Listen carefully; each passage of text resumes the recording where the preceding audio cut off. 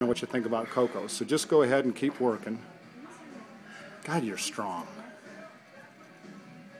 How old are you? I'll be 72 in March. Are you 6th. serious? March 6th. Good golly. Well, you guys last year helped. No, I've always been pretty good shape. A little overweight in the gizzards, though.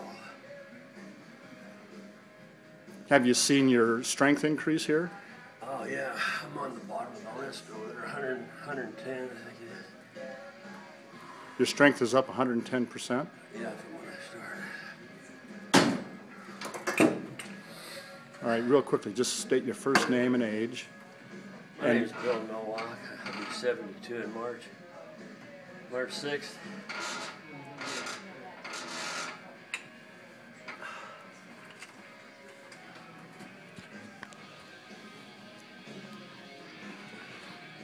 Why I'm messing with you. I'll leave you alone in a second. Just tell me a couple things about, say, I like Coco Fit or whatever you want, or the best thing or whatever.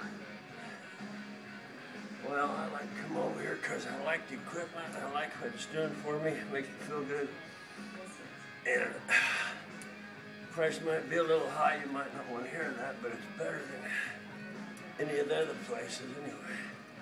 For equipment trainers. I like it. I put it in the top 10 of the best things ever happened to me in my life.